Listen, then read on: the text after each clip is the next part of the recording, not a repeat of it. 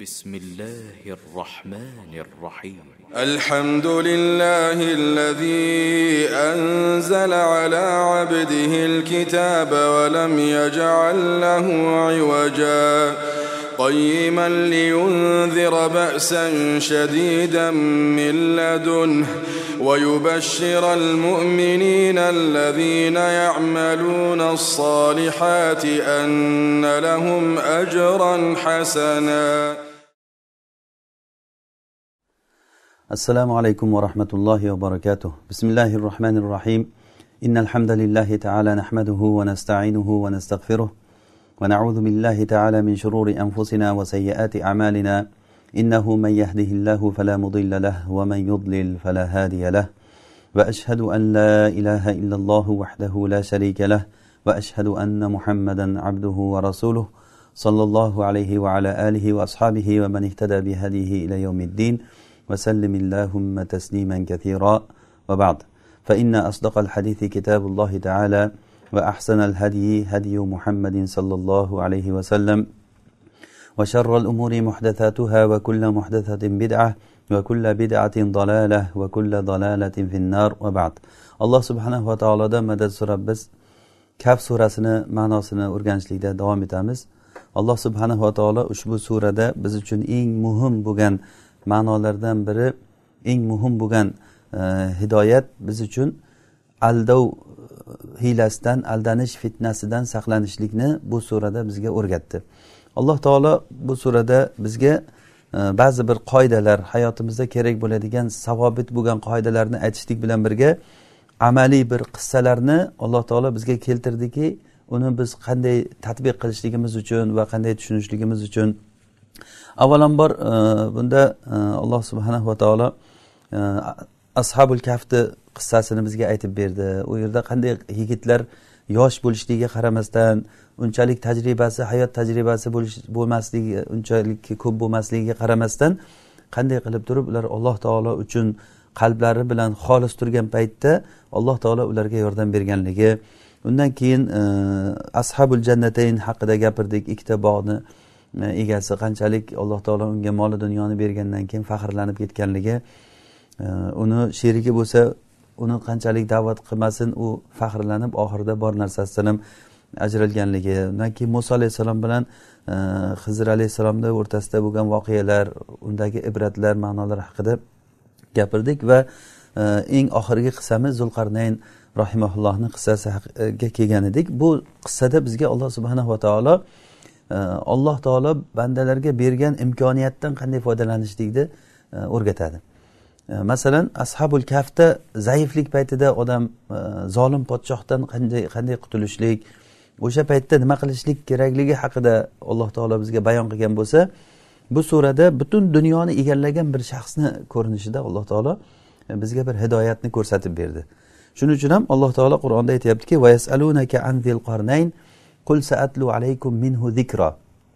zulqarnayn haqida sizdan so'rashadi aytingki men sizlarga undan bir zikrni tilovat qilib beraman. Nega shu yerda uni xabarini beraman demasdan zikro deyapti. Chunki bizga alloh taolo aytadigan xabarlar qissalar voqealar hammasi biz uchun bir eslatma yo'l bo'ladi. Bu bekordan bekorga bir aytilinadigan bir tarixiy bir voqea emaski bizga. Shunchalik bir e, majlisni qizitish uchun aytilinadigan narsa emas bu. Bunda aytilayotgan narsalar biz uchun zikr bo'ladi. Har bitta holati har bitta gapi har bitta qur'onda keltirilgan e, ko'rsatmalar biz uchun katta bir hayot qonuni bo'lib qoladi. E, biz inshaalloh mana shu narsalarni o'rganishga harakat qilamiz. E, hayotimizda toki biz ham bir to'g'ri oldingilar yurgani kabi to'g'ri yo'lda yurishligimiz uchun.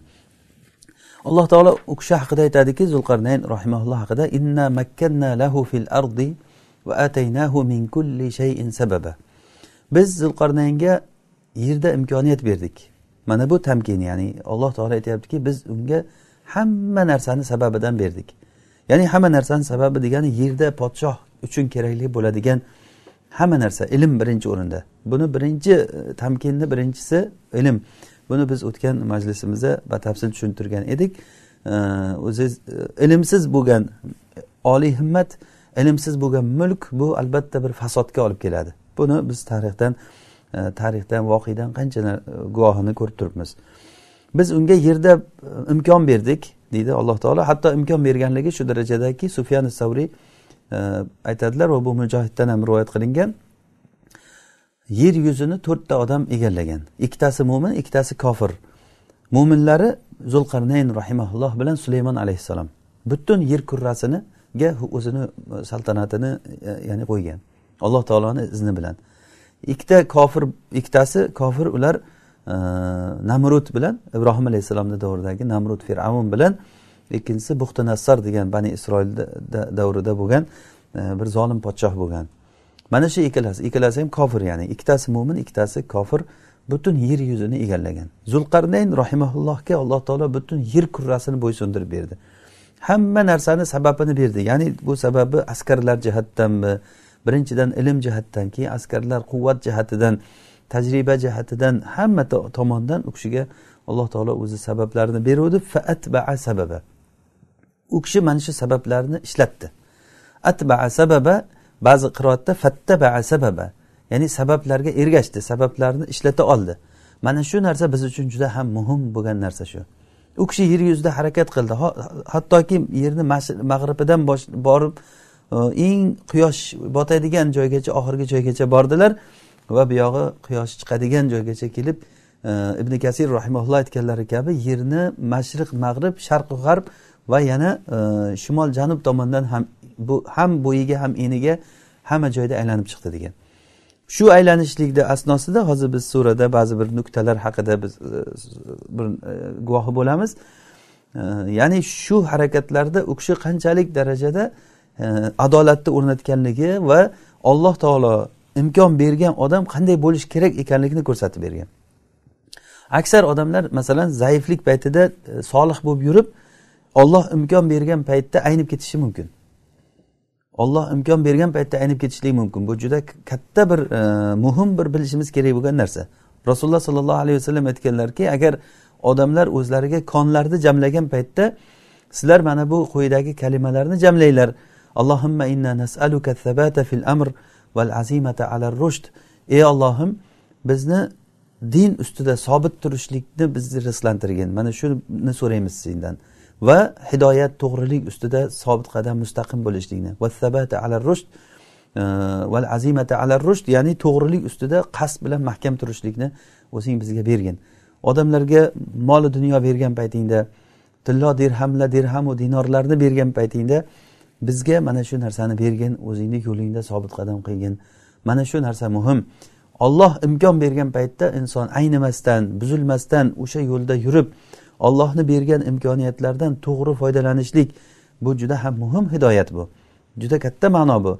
Olloh mol dunyo bergan odamlar o'sha moli dunyosini berilmasdan oldin solih bo'lib yurgan odamlar mol dunyo berilgandan keyin e, aynib ketib qolishi mumkin. Yoki mansabda bo'lmagan odamlar keyin mansab tegib qolgandan keyin aynib ketib qolishligi mumkin mana shuni misolini bizga zulqarnayn rahimaullohni shaxsida bizga alloh taolo ko'rsatib berdi u kishi butun sabablarga ergashdilar mana shulardan mana alloh taolo aytyaptiki hatta ida balag'a mag'riba shamsi وجدها تغرب في عين حمئة ووجد عندها قوما قلنا يا ذا القرنين إما أن تعذب وإما أن تتخذ فيهم حسنا قال أما من ظلم فسوف نعذبه ثم يرد إلى ربه فيعذبه عذابا نكرا وأما من آمن وعمل صالحا فله جزاء الحسنى وسنقول, وسنقول له من أمرنا يسرا ثم أتبع سببا bu u kishi haqida bitta harakatlarini bayoni u kishi quyosh chiqish vaqt joyigacha borgan paytda hatta ida balog' degani hatta kalimasi bu g'oya uchun keladi demak bu kishi shuni qasd qilgan oxirigacha borishlikni qasd qilganlar va yetib borgan quyosh botadigan joyga borganda quyoshni bir balchiq ustiga botayotganligini topdilar. Vajadaha tag'rubu fi aynin hamia. Hamia degani bir e, aynin suv ya'ni balchiqlik suvni ustiga botayotganligini ko'rdilar. Qur'ondan boshqa bir manbada qur'ondan boshqa bir manbada ishonchli bir u kishini qaysi joygacha borganligi ya'ni aniq e, nimasi bilan e, qaysi qishloq qaysi shaharga borganliklari ma'lum emas. Muhimi quyosh botishlikni eng oxiri o'sha mamlakatigacha borganlar borsalar quyosh shunday balchiqni ustiga botyapti deganda tafsir kitoblaridan olingan xulosa shuki dengizga daryolar borib qo'shiladigan joyda bilasizlar daryo qo'shilib ketayotgan joyda qamishlar o'sib turgan bo'ladi va u joyda suv loyqa bo'ladi. Balchiqlik suv bo'ladi ya'ni daryo borib suv susayib qolgandan keyin susayib qolgan joyda qamishlar o'sib ketib balchiqlik joy bo'ladi. O'shani ustiga quyoshni botayotganligini ko'rdi. Ya'ni albatta quyosh balchiqni ustiga botmaydi. Undan nariyog'ida yer yo'q quruqlik yo'q. Shunday qaraganlarida o'sha suvni ustiga botib ketayotganligini e, ko'rdilar. Bu yerni eng mag'ribigacha e, borgan joylari. Rog'ibil asfahaniy rahimaulloh aytgan ekanlarki alloh subhanahu va taolo butun koinotda harakatlik qilib qo'yishligi bu fitrat bo'ldi. Ya'ni e, yer yer kurrasi ham hatto o'simliklar ham hatto hayvonlar ham harakatda. Harakat bilan mana shu fitrat bu harakat. Ya'ni masalan hayvonlarga qarasangiz ham qo'y echkilar mollar hammasi harakat qiladi. Ertalabdan turib rizqini izlab yuradi harakat qiladi. Endi kimda kim agar harakat qilmay bekordan bekorga yotaversa bu odam hayvondan ham pastroq darajadagi tushib qolgan odam bo'ladi degan ekanlar. Haqiqatda bu juda ham e, to'g'ri gaplar. Balki u odam o'liklar safida bo'ladi. Ya'ni hech narsa qilmasdan o'zini insoniylik vazifasini qilmasdan bekordan bekorga yotaverishlik bu narsa inson o'zi uchun yaratilingan narsani tashlab qo'yish bo'ladi. Hayvonlar tashlab qo'ymaydi. Hayvonlar nima uchun alloh taolo ularni nima maqsadda yaratgan bo'lsa shu maqsadni qilib beradi. Masalan go'sht uchun yaratgan ularga ovqat bersangiz yeb yeb yeb semirib xuddi meni so'ygin go'shtimni yegin deganday tayyor bo'lib turadi. Yoki sut beradi hayvonlar. Yoki nasl beradi. Hayvon o'zini vazifasini qiladi. Hamma hayvonlar shunday. Ollohni fitrati bu. Illo faqat inson bu. Insonga alloh taolo ixtiyor berganligi uchun o'zini vazifasini qilmasdan balki uni teskarisini qiladigan odamlar aksar odamlar shunaqa. Alloh taolo o'zi hidoyatlaganlardan bundan mustasno. Bu kishi zulqarnayn rahimaulloh mana shuni misolini ko'rsatib berdilar. Qanday qilib turib inson shunchalik katta imkoniyat berilingan paytda u imkoniyatni ishlatishlik. Bu kishi to'xtamaganlar. O'zi bo'lmaydi bu o'sha davrdagi holatda bir e'tibor berayotgan bo'lsak butun yer kurrasini aylanib chiqishlik. U asnoda qancha qancha qavmlarga duch keladi qancha qancha urushlar bo'ladi e, qancha qiyinchiliklar bo'ladi u kishi to'xtab turmaganlar bir joyda. Butun yer yuzini aylanib buyog'i mag'ribdan bu tomoni hani ikkinchi yurishlarida bizga keladi e, quyosh chiqish joy tomonigacha kelgan. Shunda alloh taolo aytyaptiki o'sha suvni oldida quyosh botadigan joyda bir qavmni u kishi topdi. Qavman nakra kelyapti. Bu muhim emas bizga qanaqangi qavm bo'lganligi ularni kim ekanligi millati nima qanaqa tilda gapirgan bu muhim emas bizga. E'tibor qarataylikki qur'onda bizga muhim bo'lgan narsalar albatta keladi. Qur'onda aytilinmagan narsa bilingki uni ahamiyati yo'qligi uchun aytilinmaydi. Uni bilish foyda bermaydi bilmaslik zarar bermaydi. Ya'ni ular qaysi qavm? Va zulqarnayn rahimaulloh borgan paytlarida o'sha quyosh botayotgan balchiqlik suvni oldidagi e, joy shahar qaysi shahar u? Uni ahamiyati yo'q. Muhimi yer kurrasidagi qaysidir bir joyga borganlar eng oxiri ya'ni o'sha suvni oldiga borganlar quyosh botish tomoniga mag'rib tomonga borganlarida o'shanda bir qavmni topdi. Biz aytdik aytdikki qulna ya qarnayn imma an tuazzib va imma an tattaxiza fihim husna. Ey zulqarnayn deb aytdi. Ya'ni alloh taolo zulqardanga qanday qilib aytdi? Qanday qilib aytdi? Buni ham bizga ahamiyati yo'q. Muhimi alloh taolo u kishiga aytgan. Uni aytganligi yo o'sha davrdagi bir payg'ambar orqali ayttirgan bo'lishi mumkin. Chunki rojih qovulda zulqarnaynni payg'ambar bo'lmagan u kishi solih bir podshoh bo'lgan deb aytdik. Podshohga alloh taolo qanday qilib aytadi unga? Demak albatta bir vahiy orqali bo'lishligi uchun bo'ladi bu o'sha zamonda bir payg'ambariga vahiy qilsa payg'ambari aytadiki alloh taolo senga mana mana shunday qilishlikni buyuryapti deb aytadi. Bu alloh taoloni zulqarnaynga aytgan gapi bo'ladi. Yoki bo'lmasa olloh aytdik deganligi bir ilhom yo'li bilan aytgan bo'lishligi ham mumkin. Buni ham unga alloh taolo ilhom bilan ayttirsa o'shani biz aytdik deganday xuddiki masalan muso alayhissalomni onasiga alloh taolo ilhom qilgan tuqqan paytda bolasini bir sandiqqa solib suvga tashlashlikni ilhom bergan. Bunaqangi narsalar ilhom yo'l bilan gapirganligi ham alloh taolo hidoyat berib odamlarga yo'l ko'rsatganligi xitob qilganligi bor. Masalan e, umar roziyallohu anhu shunaqangi ilhom berilgan odamlardan bo'lgan. Alloh taolo u kishini tiliga ko'ra ko'p haqlarni joriy qilgan. Rasululloh sollallohu alayhi vasallamga aytgan ekanlarki umar roziyallohu anhu ey rasululloh sizni ahlingiz ayolingizni oldiga mani uyingizga ko'p odam kelib kiritadi. Yaxshi odam ham keladi yomon odam ham keladi. Har xil odamlar bor. Shu ayollaringizga buyursangiz hijoblansa erkaklarga ko'rinmasa deganda hijob oyati nozil bo'ldi. Ya'ni bu umar roziyallohu anhuga berilingan bir ilhom bu. Yoki bo'lmasa rasulullohga bir kuni aytdilarki rasululloh shu maqomi ibrohimdan e, bir namozgoh qilib olsak. Min maqomi ibrohima musalla. Ibrohim maqomi ibrohimdan bir namoz o'qiydigan joy qilsak deganida alloh taolo surada nozil qildiki fattahizu min maqomi ibrohima musalla xuddi umar roziyallohu anhu aytganlari kabi bir kuni rasululloh sollallohu alayhi vasallamga vahiy nozil bo'lishda mo'minun surasidan umar roziyallohu anhu kotib edilar yozadigan rasulullohga vahiy kelgan paytda yozishni bilgan sahobalardan birisini chaqirib yozgin deb yozdirardilar shunda mo'minun surasida ولقد خلقنا الإنسان من سلالة من طين ثم جعلناه نطفة في قرار مكين ثم خلقنا النطفة علقة فخلقنا العلقة مضغة فخلقنا المضغة عظاما فكسونا العظام لحما ثم أنشأناه خلقا آخر mana shu joygacha nozil bo'lganda rasululloh aytib turdilar umar roziyallohu anhu yozdilar ya'ni oyatni umumiy ma'nolari biz insonni nutfadan yaratdik keyin nutfani biz laxta qon qildik uni bir tishlam go'sht qildik u go'shtdan biz suyak yaratdik suyak suyakka go'sht qopladik keyin uni yana boshqacha bir shaklda o'zini holatiga keltirdik degan joyigacha nozil bo'lgan paytda shu bu ma'nolarni qarab turib umar roziyallohu anhu fatabarakallohu ahsanul xoliqin degan. Ya'ni shunchalik go'zal yaratishlikda yaratadigan olloh qanchalik buyuk alloh taoloni ulug'vorligi qanchalik ulug' ko'rinib turibdi e, degan ma'noni aytganlarida rasululloh aytdilarki nima deding nimani yozding dedilar. Mana shu mana shuni yozdim va o'zimcha fatabarakallohu ahsanul xoliqin dedim deganlarida uktub hakada unzilat dedilar yoz mana shuni ham. Fatabarakallohu ahsanul xoliqin mana xuddi shunday nozil bo'lgan bu bir ilhom bu. Alloh subhanahu va taolo qalbida bir nuri bor odamlarga beradigan bir ilhom. Balkim zulqarnayn rahimaullohga ham alloh taolo mana shunday bir ilhom yo'li bilan bergandir. Qanday bo'lsa ham alloh taolo mana bizga butun qiyomat kunigacha hidoyat bo'ladigan qo'limizdagi qur'onda u kishiga biz aytdik deb aytyapti. Qulna ya zal qornayn imma an tuazzib va imma an tattaxiza fihim husna. Yo ularga xohlasangiz azob berasiz bu qavmga chunki ular azobga mahkum chunki ular kofir qavm edi mushrik qavm edi yoki bo'lmasa va imma an tattaxiza fihim husna yoki ularga bir yaxshi bir muomala qilishligingiz ham mumkin dedi.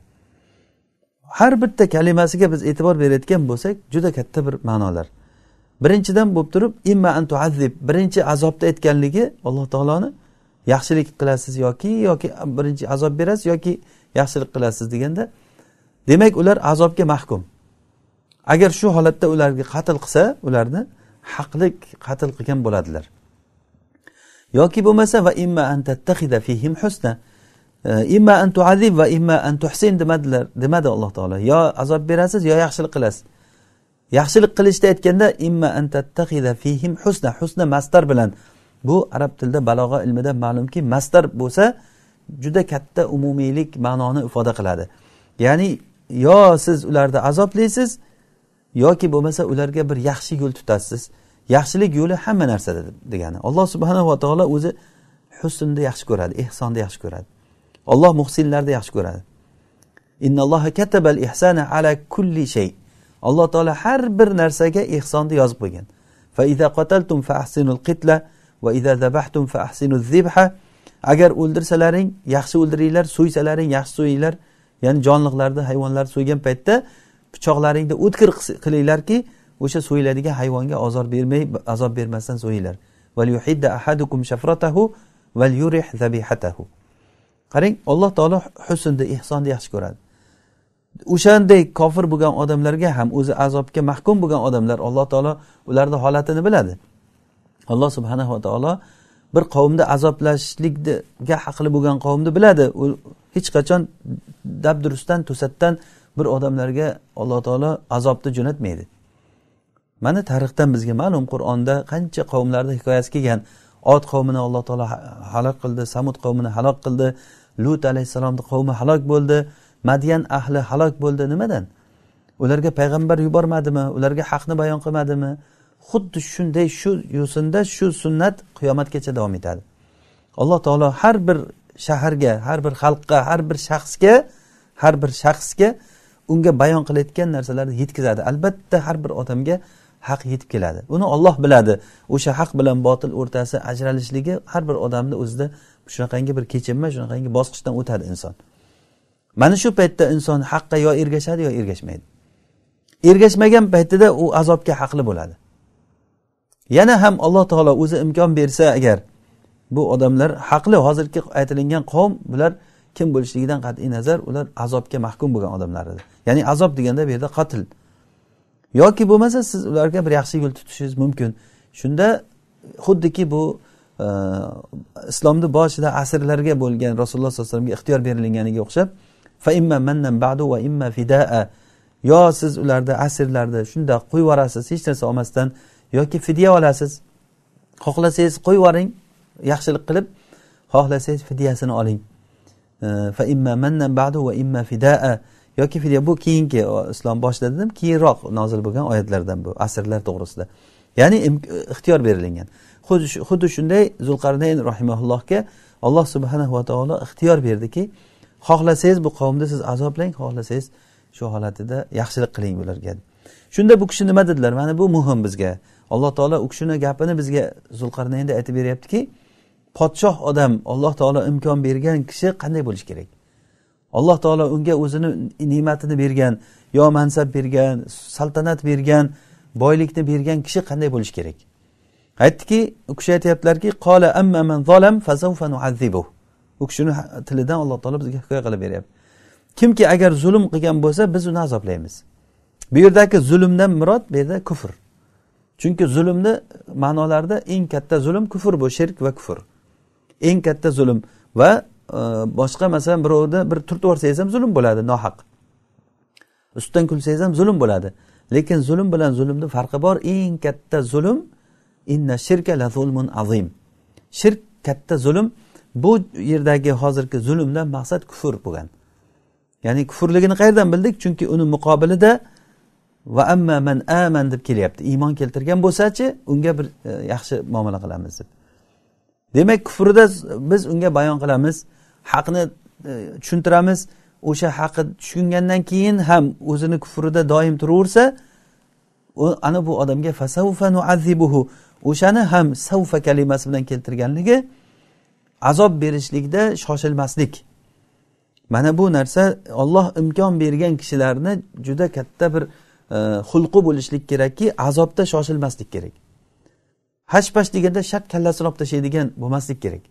Bunaqangi shoshqaloq tez qabr qaror qabul qiladigan bo'lib ham azobga azoblashlikka tez qaror qabul qiladigan podshohlar tarixda zarbul masal bo'lib qolgan. Masalan hajjojga o'xshagan hatto musulmon bo'lsa ham lekin ummat uni zolim deb shahodat beradi. Olloh o'zi muomalasi qanday qiladi qiyomatda o'zi biladi unga. Lekin uni qilgan ishlariga qarasangiz hani ani mani deguncha odamlarni qanchasini kallasini olib tashlagan. Unaqa bo'lmaydi o'shani alloh taolo ko'rsatyaptiki ammo zulm qilgan odam bo'lsa fasavfanuazibu biz unga azob beramiz. Ya'ni bu yerda azobdan maqsad qotil. Summa yuraddu ila robbihi keyin ollohni oldiga borganda fayuazibuhu azaban nukro unga qattiq azobni alloh taolo o'zi azobini beradi uni hisob kitobini olloh qiladi. Mana shunda ham biz uni jazosini berib qo'yamiz. Mana men uni qilaman demasdan e, fasavfa nuazibuhu jam kalimasi bilan qilish aytishligi bu manmansiramaslikka kiradi bu. Men qildim men beraman men aytdim degan gaplarni olloh imkon bergan dunyoni egallagan podshohni holatiga qarasak bu kishi biz shunday qilamiz. Ya'ni bu ummat nomidan gapiradi. Chunki u dunyoni egallashligi bir o'zini kuchi bilan bo'lgani yo'q bu. Avvalambor alloh taolo unga berdi. Inna makkanna lahu fil ard. Biz berdik deyapti unga. Hammasida o'zi zamir tashrif bilan alloh taologa qaytadigan inna makkanna va ataynahu. Biz berdik biz imkon berdik. Hamma sabablarni biz berdik. Uni qo'riqlab turadigan qo'riqchilari biz berganmiz uni. Uniga undagi ilmni biz berganmiz undagi imkoniyatni biz berganmiz. Buni qo'shini qo'shin unga unga imkoniyatlar yerdagi boyliklar qurol aslahalar buni hammasini biz berganmiz deyapti alloh taolo. Johil odam bo'lsa bu narsalarni men qildim deydi. O'zi kechagina qanday holatda yurgan odam bugun ozroq bir imkon berilsa aynigani aynigan xuddiki butun dunyoni men ushlab turibman deganday gaplarni gapirib yuboradi bu dalalu mubin ochiqdan ochiq zalolat. Mana shunda hidoyatda e, alloh taolo ko'rsatyaptiki bizga qarangki o'sha imkon berilingan yerda alloh taolo saltanat bergan butun dunyoni egallaydigan kuchi bor va fe'lan egalladilar ham mana shunday kishini xulqi qanday bo'lishligi. O'shanda ham alloh taolo imkon bersa yo azoblagin yo xohlasang yaxshilik qilgin desa bo'ldi e, kofirmi bo'ldi qatl qilamiz deb o'ldiramiz demadilarda u kishi ammo haqni bayon qilamiz bayon qilgandan keyin keyin ko'ramiz deb aytyaptilar. Qanday bildik buni bayon qilamiz degan? Chunki odamlarni ikki sinfga ajratyaptilar. Kimki kofir bo'lsa uni o'ldiramiz va kimki agar iymon keltirib solih amal qilsa unga bir yaxshi muomala qilamiz deganlar. Demak bu narsa ikki odamlar ikkiga bo'linishligi uchun bayon qilishlik kerak bo'ladi. Olloh yerda imkoniyat bergan kishilarni asosiy xulqi mana shu bilan solihdan fosiqni xulqi ana shundan ajralib turadi. Fosiq bo'lgan odamlar qatl qilishlikka odamlarni o'ldirishlikka shoshiladi. Ularni xohishi shu bo'ladiki o'zidan masalan shaxsiy o'chlar olishligi mumkin ko'ziga yomon ko'ringan odamlarni qatl qilishligi mumkin. Solih kishilar bunaqa bo'lmaydi. Solih kishilarni maqsadi odamlarga haqni bayon qilishlik bo'ladi. Bu kishini xuddi mana shu aytgan gaplariki bir maqtov u kishiga qanchalik alloh taolo imkoniyat berib shu imkoniyat bilan birga qanday tavfiq berganligini biz ko'ramiz. Azaba nukro ya'ni robbihi deb robbisiga qaytariladi. Bu narsa odamlar hammasi ollohniki kofirni ham olloh yaratgan. Unga olloh rizq beryapti. Ollohni oldiga boradi olloh uni hisob kitobini qiladi. Biz odamlarga musaytir emasmiz. Alloh taolo aytadiki fazakkir innama anta muzakkir. Eslating ey rasululloh siz eslatuvchisiz. Lasta alayhim bimusaytir. Siz ularga saytara qilib turadigan ularga zo'ravon emassiz ustida turadigan. Musulmon kishini mo'min kishini solih kishini isloh qiluvchi bo'lgan odamni vazifasi odamlarga haqni bayon qilishlik bo'ladi. Va haq mana shu haqni bayon qilishlikda alloh taoloni hikmati alloh taoloni odamlarni yaratishlikdagi maqsadi o'shanda chiqadi. Haqni ko'rsatish kerak odamlarga bayon qilishlik kerak. Hattoki yerda imkon berilingan eng katta dunyoni egallab turgan podshoh bo'lsa ham odamlarga haqni ko'rsatish kerak. Haqni ko'rsatgandan keyin o'shanda agar yo'lida turib o'zini kufrida sobit turib olsa ana bu odam qatlga mahkum bo'ladi. Buni biz o'ldiramiz deyaptilar ammo iymon keltirgan va solih amal qilgan kishi bo'lsa falahu anil husna. Ana unga yaxshilik mukofoti bo'ladi. Yaxshilikka iymon ahliga yaxshilik bilan mukofotlashlik. Biz unga ishimizdan yengillik bilan muomala qilamiz gapiramiz deyaptilar iymon keltirgan va solih amal qilgan. Solih amal qilishlik bu iymonni iymonni unvoni iymonni tarjimoni. Mo'minman degan odam albatta solih amal qilishi kerak. Shuning uchun ham qur'onda albatta iymon keltirdi degandan keyin solih amal qildi deb keladi yana. Chunki iymon keltirdik deb til bilan aytib qo'yishlik bilan bu maqsad ro'yobga chiqmaydi. Amila soliha solih amal qilish kerak. Mo'min odam albatta solih amal qilmay turolmaydi. Mo'min odam solih amal qilishi kerak deymiz. Aslida mo'min odam solih amal qilmasdan turolmaydi. Iymoni qo'ymaydi odamni iymon keltirib solih amal qilgan kishi bo'lsa falahu jazaan al husna jazaanil husna. Ba'zi qiroatda falahu jazaul husna. Ya'ni izofa qilib bayoniy izofa deyiladi. Bu xuddi solatul jamoati deganday yaxshilik jazosi bo'ladi. Ya'ni mukofoti yaxshilik bo'ladi yoki jazaan deb nasb qilib o'qilinganda bu nisbat uchun ya'ni bu deganiki falahu jazaan husna. Unga yaxshilik jazo jihatidan uni mukofoti husna bo'ladi degani. Ya'ni yaxshilik odamga yaxshilik bilan muomala qilishlik bu solih podshohni ishi bu. Agar so, qanchalik salohiyati bo'lmasa yomon odamlarga yaxshilik qilsa yaxshi odamlarga yomonlik qilsa bu hukumatga bo'ldi salomlashib u hukumat bilan xayrlashavering degani. Xuddi fir'avnni saltanatiga o'xshagan. Eng fir'avnga yaqin bo'layotgan odamlar sehrgarlar edi. Sehrgarlar o'zi odatda bir maynavoz yolg'onchi odamlar bo'ladi. Buni hamma biladi. Ko'z bo'yamachi deb qo'yadi. O'zimizda ham buni ko'z bo'yamachi deyiladi. To'g'rimi? Ko'z bo'yamachi deb o'zi nomi ham o'zi bilan e, aytib turadi. Yolg'onchi degani bu. Eng kuchli sehrgar eng katta ko'zbo'yamachi bo'ladi. Eng kuchli sehrgar eng katta ko'zbo'yamachi bo'ladi. Ana shunday odamlar unga yaqin odam bo'lgan. Mana e, fir'avn sehrgarlarni muso alayhissalom bilan tortishish uchun olib kelganda e, ular bizga bir mukofot bormi? Nima berasan bizga agar g'olib bo'lsak? deganda qola naam va innakum laminal muqarrabin. Sizlar yaqin odam bo'lasizlar eng yaqin odamlarim bo'lasizlar. Ya'ni fir'avnni yaqin odamlari sehrgarlar bo'ladi. Mana bu zolim tog'ut kishini holati bilan solih bo'lgan podshohni holatini farqi shuki yaxshi odamlarga yaxshi muomala qilishlik. Qaysiki jamiyatda yaxshi odamlarga yaxshi muomala qilinsa u jamiyat hatto kofir bo'lsa ham gullab yashnashligi alloh taoloni bir sunnati bu. Ehtimol balkim mana shu hozir g'arbdagi erishilingan yutuqlar e, o'zi asli g'arbda yutqizgan narsasi asosiy narsasini yutqizib bo'lgan iymonini yutqizgan ular insoniyligini yutqizgan lekin hayotdagi erishgan yutuqlariga qarasak mana shu alloh taoloni qonunlariga amal qilishlik orqali erishgan. Ular yaxshilik qilgan odamni qadrini biladi. Ularda masalan yaponiyada yaponiyada muallim kishi bolalarga maktabda dars berayotgan muallim vazirdan ko'p oylik oladi. Va obro'si vazirdan ko'ra kuchliroq bo'ladi. Bu haqiqiy mezon mana shu o'zi aslida. Chunki muallim kishi bu yoshlarni tarbiyalaydigan ummatni tarbiyalaydigan kishi ummatni g'ishini qurib ummat yasaydigan kishi muallim odam bo'ladi. Bu odamda xulqi bu odamni e, ehtiromi bu odamni shaxsiyati o'ta muhim. Har kim ham muallim bo'lolmaydi va muallim bo'lgan odam juda katta ehtiromda bo'ladi. Bu narsa narsani o'z o'rniga qo'yish degani. Jamiyatda agar muallim eng xor odam bo'lsa qadri bo'lmasa oladigan oyligi bir e, hech narsasiga yetmasa maktabda dars berib dars berib maktab tugagandan keyin chiqib mardikor ishlasa muallim. U ham yetmay qolib turib hamma narsasini tashlab bir joylarga mardikorchilikka ishlagani ketib kimnidir borib bir muallim masalan fizikada ximiyada mutaxassis bo'lgan ayol kishi borib bitta o'ris kampirni e, borib tagini tozalab o'shani bolasini boqyapti masalan. Uyiga qarab kuchugini boqib yuribdi. Bu mezon bunaqangi bo'layotgan bo'lsa bu narsalar o'z o'rniga qo'yilinmagan degani. Haqiqiy solih bo'lgan podshoh narsani o'z o'rniga qo'yishlik uchun yaxshi odamlarga yaxshi muomala qilishlik kerak. Ammo yomon odamlarga bo'lsa azobga haqli bo'ladigan odamlarga azob qo'llashlik yaxshi odamlarga yaxshi muomala qilishlik. Mana shu narsa umuman mamlakatni gullab yashnashligiga olib kelayotgan savobitlardan qoidalardan biri shu. Xuddi shuni alloh taolo u kishi zulqarnaynni e, tilida hikoya qilib beryapti.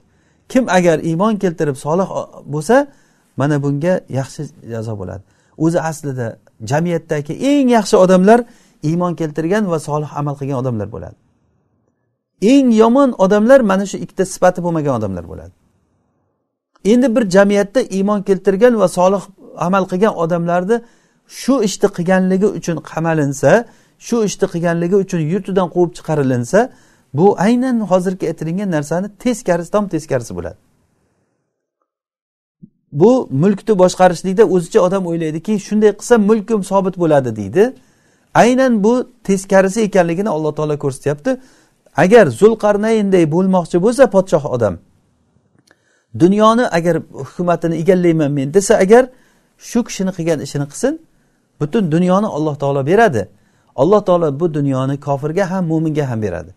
Mana yuqorida sufyan savriydan keltirganimiz kabi butun dunyoni egallagan podshohlar to'rtta podshoh ikkitasi mo'min ikkitasi kofir. Ikkalasiga ham to'rtalasiga ham olloh bergan.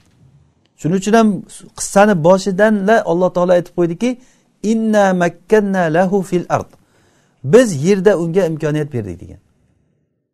Biz berdik unga bu imkoniyatni biz berdik degan. Bunga boshqa bir o'zidan o'zi bo'lib qolgan emas bu. Yo o'zini mehnati bilan bo'lgan emas bu.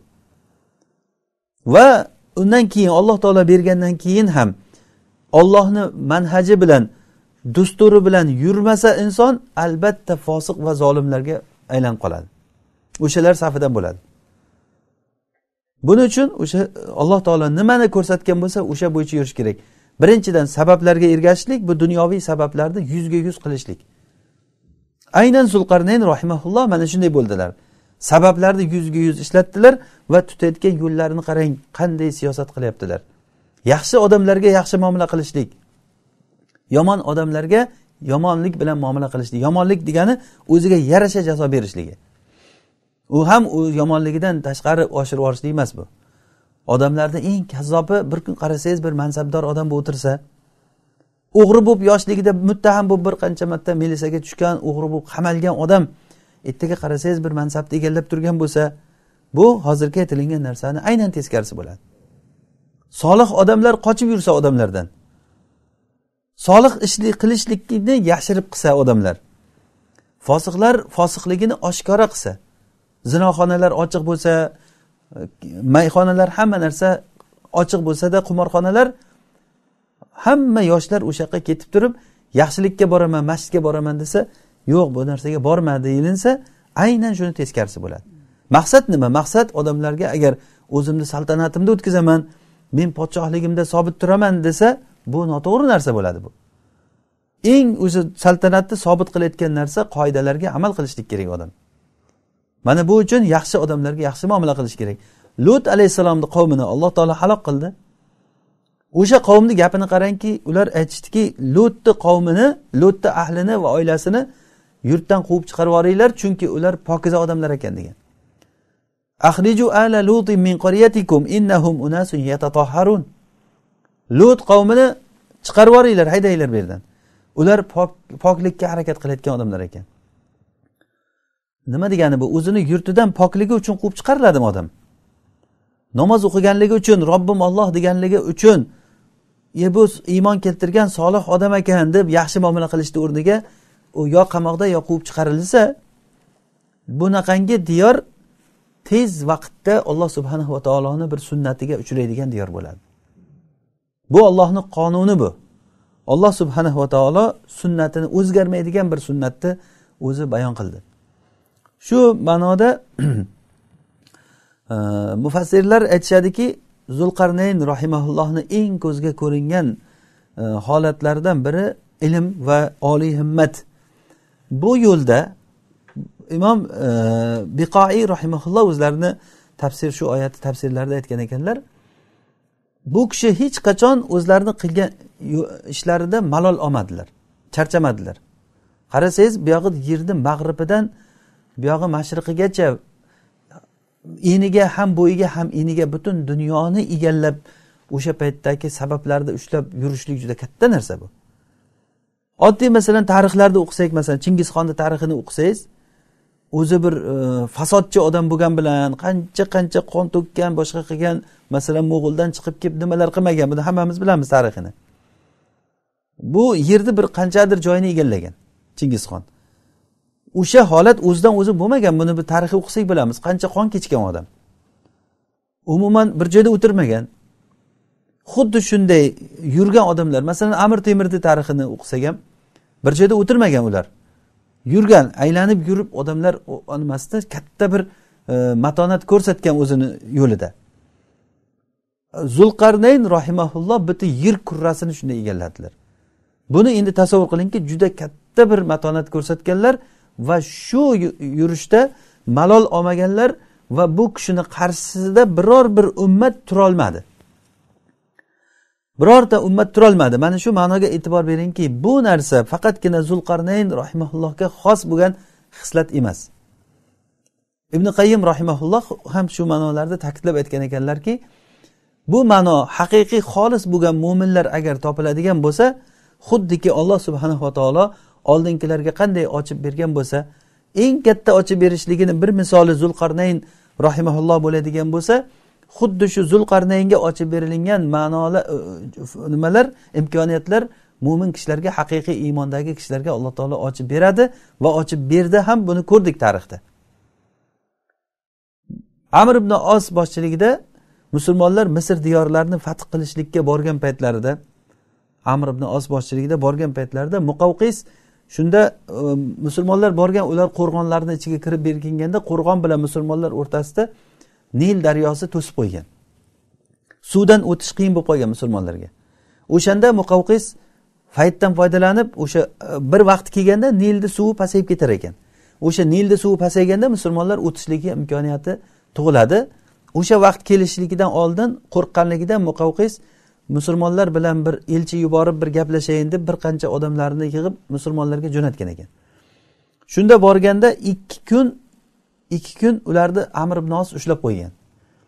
Haligi elchi yuborgan muqavqis elchilari ikki sutka kelmagan ikki kunduz ikki kecha. Qaytib kelmagandan keyin o'zi qo'rqib ketgan nima bo'ldi bu elchilarni ham qo'ymayapti deganda ikki kundan keyin qaytib kelgan. Hatto yonidagilarga aytgan ekan bu musulmonlar nima qilishi mumkin bularni deb qattiq xatarga tushib qolgan. Keyin elchilari kelgandan keyin gapirib berganda qanaqa odamlar ekan ular deganda ular aytgan musulmonlarni holatini aytganki biz unaqangi xalqni hech ko'rmagandik degan. Ularni ichida boshlig'i bilan e, qo'l ostidagi kishilarni ajratib bo'lmas ekan degan. Bu narsa bu e, misr diyorlari muqavqis bular hammasi rumga qaragan odamlar bo'lgan. Bulardagi imperatorlarni holati ulardagi qo'mondonlarni kiygan kiyimi bilan boshqalarni holati juda katta farqli bo'lgan. Ular o'shanga o'rganib qolgan bo'lgan. Keyin musulmonlarni holatini ko'rsa ularni amiri bilan ma'mur o'rtasidagi farqni sezmagan. Ovqat yesalar tizzasi bilan cho'kka tushib ovqat yer ekan hammasi degan. Agar namoz vaqti bo'lib qolsa hammasi qo'l betlarini choyib kelib namozga bittasi ham qolib ketmay shunday kelib safda turib namoz o'qir ekan namozlarni o'qishiga hayron qoldik bizlar degan. Musulmonlardagi xulqni shunchalik katta maqtaganki bular o'shanda muqavqis aniq ishongan ekan bo'ldi bularni oldini to'sib bo'lmaydi. Bu qavm agarda toqqa duchor bo'lsa tog'ni joyidan siljitib yuboradigan odamlar degan. Haqiqatda shunday bo'lgan.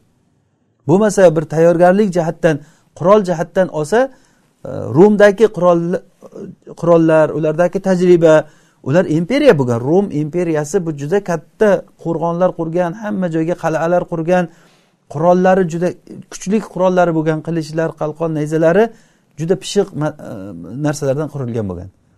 Odamlari ham tajribali urush ko'rgan doim urushlarda qon kechib yurgan odamlar bo'lgan. Lekin sahobalarda bu qarasak bu sahobalar holati hech narsa bo'lmagan. Shunday ko'ylak ishtonda borgan. Borini ishlatib ketib yo'l yo'lakay ishlatib ketavergan ular. Lekin ulardagi birlik ulardagi matonat oliy himmat birinchidan ilm va oliy himmat xuddi zulqarnayn rahimaullohniga berilingan hozir aytilayotgan sifatlar sahobalarda bo'lgan. Ana o'sha uchun muqavqis o'zi ular o'sha paytdagi podshohlari ahli ilm tajribalik sayid odamlar bo'lgan.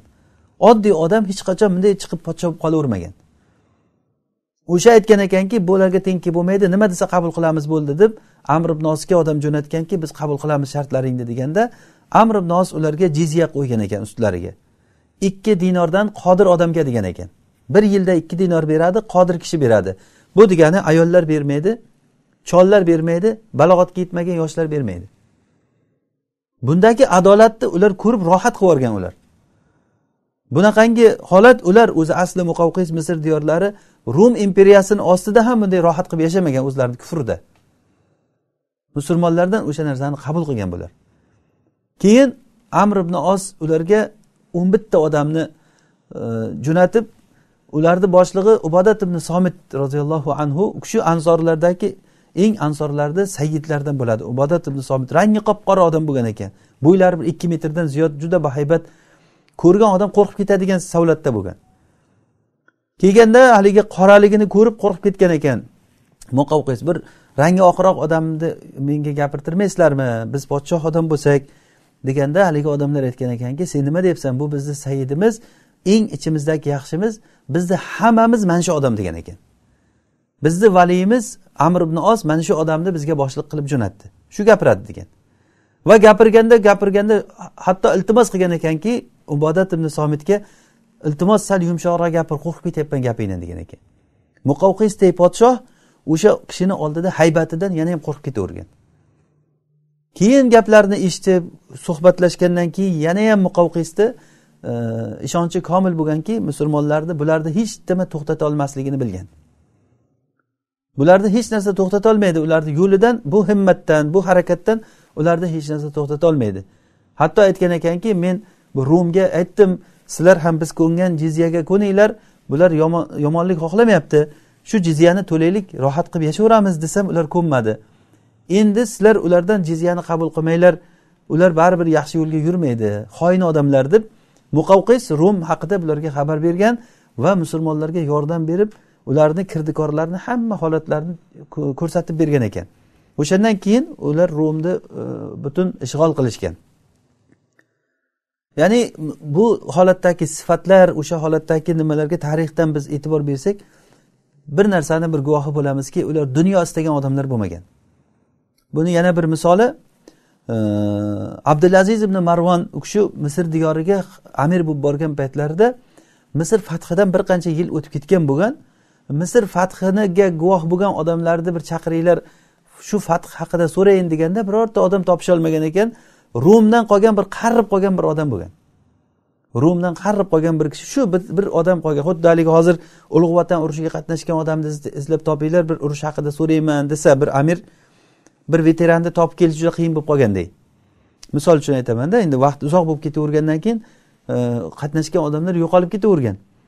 Shunda bir qari bir rumlik bir kishini olib kelgan ekan.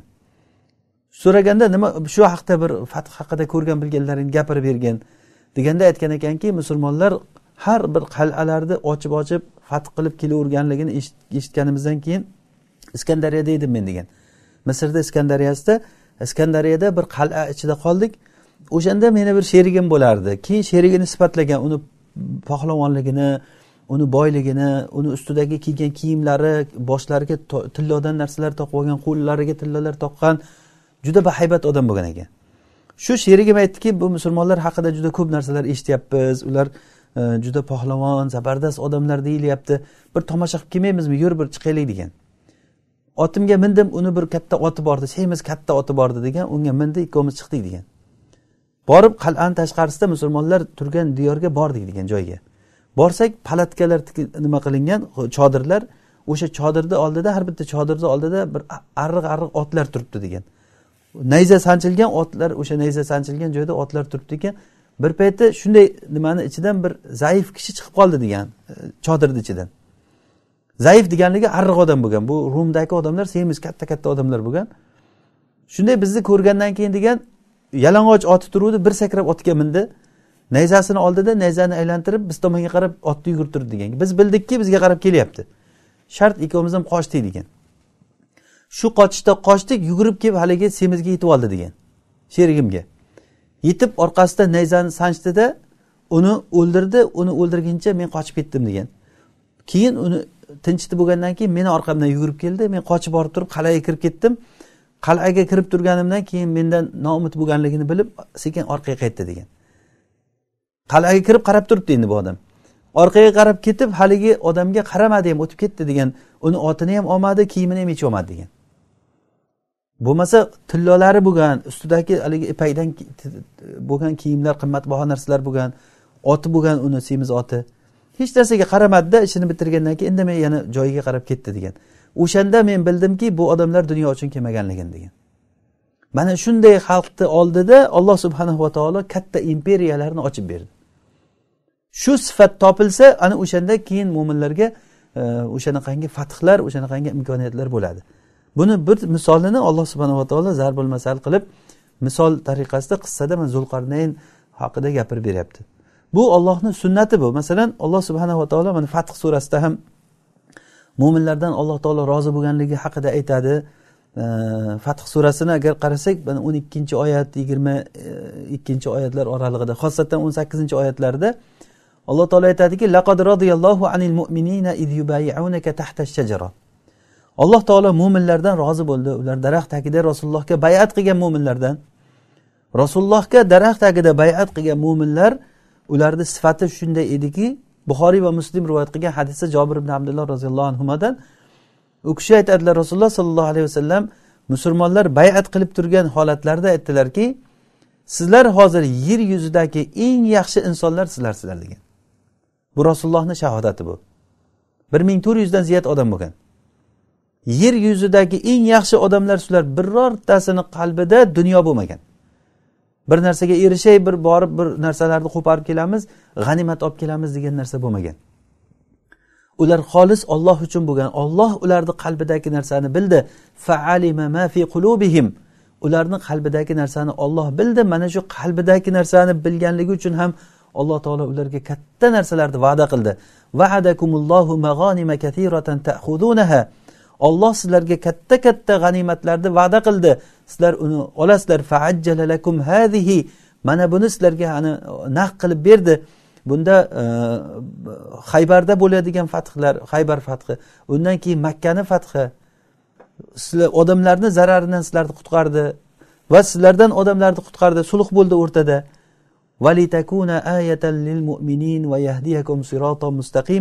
Bu mo'minlarga katta bir oyat yo'l biz uchun. Bu narsa asosiy narsa qalb qalbda o'sha alloh subhanava taologa bo'lgan ixlos. Va hali bundan boshqa bir sizlar kutib turgan narsalar bor. Va uxro lam taqdiru alayha qad ahatallohu biha va kanallohu ala kulli shayin qotiro bundan boshqa katta katta mukofotlar bor. Shu oyatlarni davomida alloh taolo aytadiki qad xalat min qabl. Mana bu narsa alloh taoloni oldindan o'tgan sunnati shu. Bu ollohni sunnati degani faqat zulqarnaynga xos yo sahobalarga xos rasulullohga xos yoki bularga xos bunga xos deyilmaydi. Bu ollohni sunnati yo'li shu mana shu sifat topilsa shu natija topiladi. Qad min qabl tajida li sunnatillahi tabdila. Ollohni sunnatini hech qachon o'zgartirishlikni topmaysan. Valan tajidlan degani hech hech. Hech qachon ollohni sunnati o'zgarmaydi. Alloh subhanahu va taoloni sunnati shuki agar mana shu sifat agar odamlarda topilsa shu natijani alloh subhanava taolo odamlarga ko'rsatadi. Bizga eng muhim narsa mana shu sifatga ega bo'lishligimiz kerak. Zulqarnayn rohimaulloh va xuddi shu kishini misoli bo'lgan sahobalar mana hozir ularni holatidan bir ikkita lavhalar aytib berdik. Bularni holatida hech bir xuddiki e, imom biqoiy aytganlari kabi oldilaridan hech bir narsa to'sib turmagan ularni. Ularni oldida tog'lar ularni oldida dosh berolmagan. Sahobalar ham xuddi shunday katta dunyoni egalladi ular. Dunyoni imperiyasi bo'lgan rum va fors imperiyasini ikkalasini ham ishg'ol qilishdi. Butun yer yuziga ma'rifat nurni tarqatishdi. Oldilarida na dengiz ularni qaytara oldi na kofirlarni katta katta qal'alari ularni qaytara oldi. Ularni tayyorgarligi yana aytamizki tayyorgarligi bir aytarlik tayyorgarligi bo'lmagan. Lekin alloh subhanava taolo o'zi imkoniyat beradi alloh taolo yo'llarni ochadi hidoyat beradi. Buni hammasi inson qalbidagi ma'rifat va ixlos mana shu oliy himmatga bog'langan narsalar. Mana shu narsa bo'lishi kerak. Ya'ni shu narsa insonda bo'lsa alloh taolo bu natijasini beradi. Bu kishini gaplariga qarangki min amrina yusra. Biz unga ishimizdan yengillikni ya'ni yaxshi amal qilgan solih amal qilgan odamlarga e, bir yengillikni ko'rsatamiz beramiz deyapti. Ho'p vasanaqulu lahu ya'ni unga aytamiz degani yengil hattoki u kishi qiladigan ishida ham yaxshilik va aytadigan gapida ham yengil gapni aytamiz degan vasanaqulu lahu min amrina husna demasdan yaxshi gapni demasdan yusro ya'ni vaqullahum qavlan maysuro deganday oyatda ota onangga maysur gap ya'ni maysur gap degani o'ta yengil hech og'ir botmaydigan gap degani. O'zingiz o'ylab ko'ring dunyoni boshqarib turgan podshoh hech og'ir botmaydigan gap gapiramiz desa. Gapirgan gapi birovga og'ir botmaydigan o'zi aslida bunday biz tajribadan qarasak urushda yurgan qo'mondonlar butun dunyoni egallab yurgan odamlar odatda xulqi o'zgarib ancha qattiqlashib ketadi. Qattiqlashib ketadi odam e, urush ko'ravergandan keyin odamlar bilan ko'p muomala qilavergandan keyin ancha xulqi shiddatli bo'lib ketadi. Lekin bu kishi aytyaptilarki biz unga yengil gapni gapiramiz degan. Yengil gapni gapirishda endi eng oson narsa shu yengil ish qilamiz yaxshilik qilamiz avlo yo'li bilan bo'ladi. Masalan ba'zi podshohlar bor yaxshilik qiladi lekin yaxshi e, yaxshi gap gapirmaydi. Oldiga borgan odam titrab turadi. Qo'pol gapiradi odamlarga tepadan kelib siyosat qilib gapirib o'tadi. O'ylaydiki mana shunday qilib gapirsam meni ulug'laydi odamlar deb o'ylaydi. Aslida hidoyat bu emas. Aslida hidoyat odamlarga yaxshi gapirish yengil gapirish. Ya'ni og'ir botmaydigan qilib gapirishlik. Yana unga min amrina deganiga e, imom roziy rahimaulloh aytgan ekanlarki biz buyruqlarimizda yengil buyruqlarni beramiz odamlarni toqati yetmaydigan narsani yuklamaymiz degan. Bu ham podshoh kishilarga odamlarga imkon berilingan nafaqat podshoh. Masalan bir korxona rahbariga ham bu narsa katta bir e, ko'rsatma bo'ladi yoki oiladagi ro'zg'or boshi bo'lgan odamga ham bu narsa bir ko'rsatma bo'ladiki qo'l ostidagilarga yengil muomala qilishlik va ular toqat qilayotgan narsani yuklashlik. Rasululloh sollallohu alayhi vasallam aytganlarki ixvanukum havalukum jaalahumullohu tahta aydikum. Sizlarni birodarlaring bu xizmatchilaring sizlarni birodarlaring aslida. Faqat farqi shuki olloh ularni sizlarni qo'l ostilaringda qilib qo'ydi. Demak olloh qildi deganligi bu yerda bir dars bo'lsinki hammamizga agar olloh xohlasa buni aksi bo'lishi ham mumkin edi. Sizni qo'l ostingizda ishlab turgan odamga bugun siz mudir bo'lsangiz bir zamon aylanib siz unga qo'l ostidagi odam bo'lib qolishligingiz hech gap emas alloh taolo xohlasa narsa qiladi. Ya'ni kulla yawmin huwa fi sha'n har kuni alloh taolo bir holatni paydo qiladi. Aziz odamni xor holatga tushirib qo'yadi. Buni biz ko'rmayapmizmi e, misolini? Qancha qancha zamonni dabdiratib yurgan odamlar bugun qamoqqa kirib qolyapti. Qancha qancha zabardast bo'lib yurgan odamlar to'shakka yotib kasal bo'lib qolyapti. Bitta suvini ichirib qo'yishlikka muhtoj bo'lib yotibdi. Alloh taolo har narsaga qodir bo'lgan zot.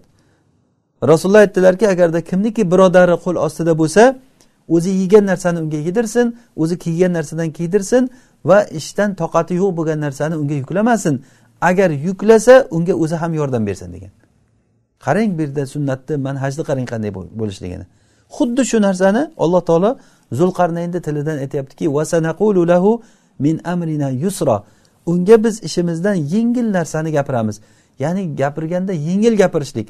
Xuddi ota onaga gapirilgan gapda alloh taolo bizga shunday degan faqul lahum qavlan maysura. Ya'ni maysur degani yengil gapir ota onaga gapirganda odam og'ir botadigan qilib gapirish kerak emas. Mumkin emas bu narsa. Yengil gapirish kerak ya'ni eng xursand qiladigan yaxshi gaplarni gapirish kerak. Biz o'sha solih odamlarga xuddi shunday muomala qilamiz deyapti. Mana bu muvaffaq kishini yo'li shu. Summa atbaa sababa keyin u kishi yana sabablarga ergashib yo'lda davom etdilar. Mana bu narsa yana takror aytyapti alloh taolo. Yuqorida fa atbaa sababa. Undan keyin hozir yana summa atbaa sababa. Ba'zi qiroatda summattabaa sababa. Yana sabablarni ushladi to'xtamadi. Bu narsa u kishini oliy himmatliligiga bo'ldi shuncha joyda oldim yetadi demadi. U kishini maqsadlari butun yer kurrasida adolatni o'rnatish edi. Xuddi shu holat alloh subhanava taolo mana shuni E, ko'rsatib berdi. Adolatni qanday ko'rsatganligini ko'rsatib berdi.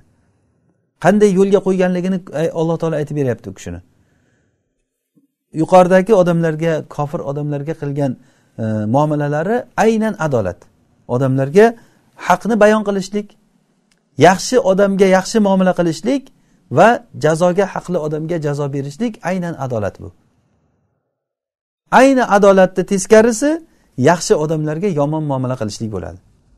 summa atbaa sababa keyin yana sabablarga ergashdilar ya'ni bu deganiki olloh bergan imkoniyatlarni ishlatdi keyin shu kelishda u kishi hatta ida balag'a matli shams quyosh chiqadigan tarafga keldilar hatta ida balag'a matli shamsi vajadaha tatlu'u ala qawmin lam naj'al lahum min duniha sitra كذلك وقد أحطنا بما لديه خبرا u kishi quyosh chiqadigan tarafga keldilar. Quyosh chiqadigan taraf qaysi joy u? Buni ham bir aniq bir tahdid o'rni kelmagan. Qur'ondan boshqa yerdagi ma'lumotlarda bizga masalan tafsir kitoblarida qarasak falon joy degan taxminlar bor.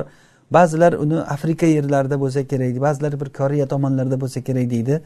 Allohu alam nima bo'lganda ham quyosh chiqish tarafga kelgan. Quyosh chiqish tarafga kelganda quyosh deydi, eng oxiri quyosh chiqadigan joyga kelganda matli ashamsi quyosh bu degani g'arbdan bu sharqni eng oxirgi nuqtasigacha keldilar degani. Balkim bu kishi e, afrika tarafda bo'ldimi bu yog'i yoki tepadan e, quyosh chiqish kun chiqar taraflar davlatlariga mana koreya shu tomonlarga borganlarmi allohu alam. Har qalay shu joyga bordilar. O'sha yerga borganlarida bir qavmni vajadaha e, tatlu ala qavmin u quyosh bir qavmni ustiga quyosh chiqyapti. Lam najallahum min duniha sitra. Ular uchun quyoshni oldida bir satr qilmagan. Ulamolar bu oyatni tafsirida aytishgan ekanki ular kiyim kiymaydigan odamlar bo'lgan. Ya'ni quyosh chiqqanda ustilariga to'g'ridan to'g'ri quyosh tushadigan odamlar yovvoyi odamlar bo'lgan. Avratlarini e, terilar bilan bekitib yuradigan yovvoyi odamlar bo'lgan quyosh chiqqanda to'g'ridan to'g'ri ularni ustiga tushadigan odamlar bo'lgan. Ba'zilar aytishgan ekanki ularda bir quyoshdan to'sadigan na daraxt bor na u yerda tog' bor na bir uylar bor bo'lgan shunday sahroda yashaydigan badaviy sahroviy odamlar bo'lgan. Bu o'sha afrika joylariga to'g'ri keladi deb ham aytgan ekan. Vallohu alam. Ya'ni buni bir bilmasdan turib bir narsa demaymiz va buni bilishlikni bizga foydasi ham yo'q bilmaslikni zarari ham yo'q. Bilishligimiz kerak bo'lgan narsa ikkita narsaniga e'tibor qaratamiz. Birinchidan bu kishi olloh bergan sabablarni ishlatib borib borib oxirigacha bordilar. Qayerga borsa ham shu quyosh chiqish tarafiga dunyoni butun dunyoni u tarafidan bu tarafiga egalladilar va o'sha joydagi bir qavmni holatini alloh taolo aytishlikda bizga bildiradiki olloh har xil odamlarni yaratar ekan. Olloh xohlasa odamlarni bir yalang'och odam qilib ham qo'yaveradi. Mana shunda u kishiga e, lam najallahu min duniha sitra quyoshni oldida hech bir satr qilmagan bir qavmni u kishi topdi. Kadalik xuddi shunday bo'ldi bu ham. Ya'ni kazalika degani ularga ham adolat xuddi shu yuqoridagi adolat bo'ldi. Ya'ni mag'rib tomonda bo'lgan adolat biz uni bir qisqagina bir majlisda buni aytib ketyapmiz. Bu kishi mag'ribga bordi hozir mashriqqa bordi. O'zi o'ylab ko'ring endi mag'ribdan mashriqqa kelyapti. O'rtada nimalar bo'lgan? Lekin nima bo'lsa ham kadalik xuddi shunday adolat shu e, matonat mana shu ilm mana shu oliy himmat mana shu to'g'ri yo'ldagi sabot va adolatni barpo qilganlar. Biz uni oldidagi narsalarni hammasidan xabardor edik. Zulqarnaynni qalbidan zulqarnaynni qilgan ishlaridan uni askarlarini holati askarlarni qalbi ular nimani xohlaydi nimani istaydi hammasidan biz xabardor edik. Ahato kalimasi ihota qilishlik bu katta bir muhim narsani bildiradi. Va xubro degani ham xabarni kattasi muhim narsa degani bu. Oddiy bir narsa emas bu. Olloh aytyaptiki ularni qilgan ishlaridan biz xabardor edik. Askarlar o'ylaydi katta askarlar bo'lgandan keyin yerda bir bepallagichilik bir askarlar bir narsalar qilib ketaveradi. Yo'l yo'lakay birovlarni nomusiga tegishi mumkin kimnidir narsasini olib yeb ketishligi mumkin. Ko'p narsalar bo'ladi. Olloh aytyaptiki hamma narsadan biz xabardormiz. Bilingki alloh subhanahu va taolo sizni hech bir qilgan ishingizdan e, g'ofil emas. Ha bo'ldi mana shunday bo'lib qoldi deb masalan bir bugun alloh taolo sizga imkoniyat bergan bo'lsa shu imkoniyatda odamlar bilmasligi mumkin siz o'ta usta bo'lishingiz mumkin pul bilan boshqa bir mansab bilan ko'p ishlarni qilayotgan bo'lishligingiz mumkin. Alloh taolo sizni qilayotgan ishlaringizdan xabardor. Zulqarnayn butun dunyoni podshohi bo'lsa ham alloh taolo aytyaptiki buni hamma qilgan ishlaridan biz xabardor edik. Xuddi o'sha ma'no hozir ham xuddi shunday narsa bo'ladi. Alloh subhanava taolodan so'raymizki allohim darslarimizni davomli va barakotli qilsin. Alloh taolo qur'on ma'nolarini o'rgatsin qur'onni yaxshi tushunib hayotiga tadbiq qiladigan qur'onga amal qiladigan qiyomat kunida ahli qur'onlar kelsin deganda ahli qur'on bo'lib chiqadigan bandalardan qilsin هذا ما أعلم ربنا تعالى أعلى وأعلم سبحانك اللهم وبحمدك نشهد أن لا إله إلا أنت نستغفرك ونتوب إليك صلى اللهم وبارك على عبدك ونبيك محمد عليه الصلاة والسلام والسلام عليكم ورحمة الله وبركاته